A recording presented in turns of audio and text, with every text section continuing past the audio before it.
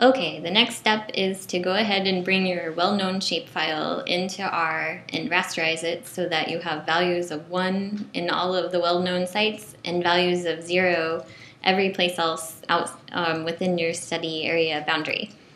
So when you go into R, you're going to need to load three libraries. The first one is the Map Tools library, and this library will work with your shapefiles that you're going to bring in. The second one is the raster library, and that's going to rasterize everything and then write a grid out so that you'll be able to use it in QGIS again. And the RGDAL library, which basically is a dependency on the raster library, and it's good just to load it separately. So whenever you're working in R, you need to navigate to the folder where all of your data is located, and this is called your working directory. So we're going to go ahead and set the working directory to where the data is located. And if you want to see what's inside of your folder, you can type dir with two parentheses, and it'll give you a list of all of the files that are inside of the folder. So the first thing we're going to do is read in the boundary of the study area, and we're working on the Ghana project, so we're just going to read in a boundary for Ghana. And if you want to take a look at the boundary, you can type plot, and then we're calling it B, and you should be able to see the outline of the shapefile to the right. So we want to turn this into a raster object. So we're going to go ahead and um, change it to raster, and we're going to use the same extent as the shapefile, and we need to give it a projection. So we're going to use the same projection as the shapefile that was brought into R.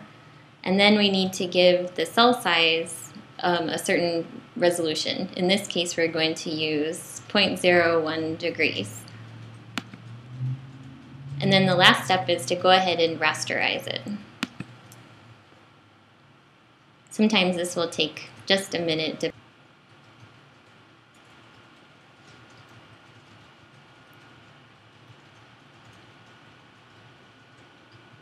Once it's done rasterizing, we'll go ahead and just take a look at it to the right. You can tell when it's done when the small caret sign appears in the lower left-hand corner in the bottom.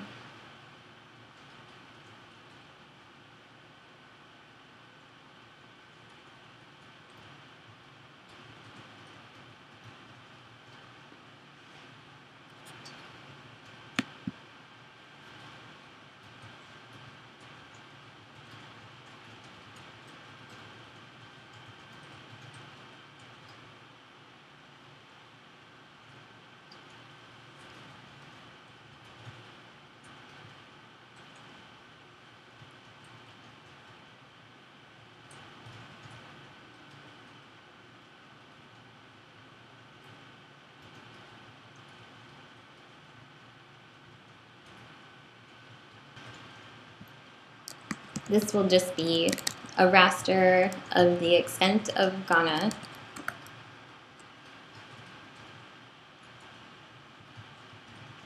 And R automatically will assign a value of 1 to any empty raster that you create.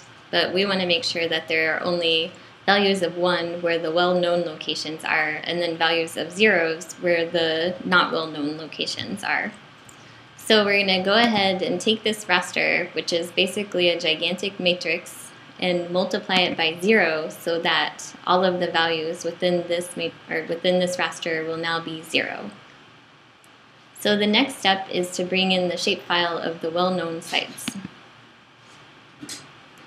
We can go ahead and take a look at this shapefile as well.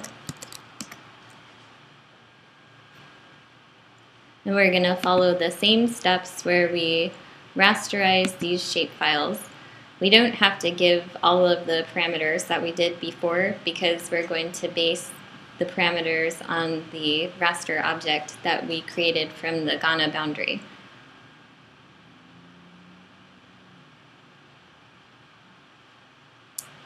And in this case, we want all of these values to be ones because they are um, the well-known sites. So we'll go ahead and plot the new raster object.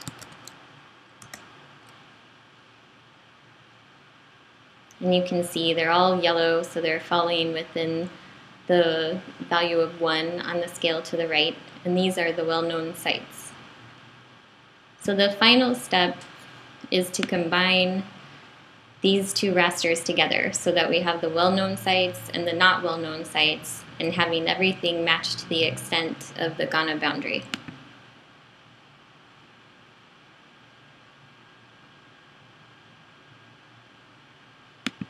We can go ahead and plot this final raster object. And you can see where the green boxes are, are the well-known sites with values of 1, and then the gray area have, has values of 0, and everything matches to the extent of the Ghana boundary. So we need to go ahead and take these rasters and bring them back into QGIS. Right now they're just objects within R, so we want to write out basically a file, a raster file that can be used in other programs. So first we're going to write out an ASCII file just because it's not very big and it's a good um, generic file to work with and it's good to have on hand. But we're also going to write out a TIFF file because this file will work best for the next step that Town's going to do in QGIS. And so now if we go back to our directory and look and see what's inside of um, our directory folder, then we'll be able to see that here's the raster that we wrote with the TIFF extension, and then here is the raster with the ASCII extension. So once you're you've done these steps, then you can go ahead and leave R, and then you'll have your data ready to bring back into QGIS.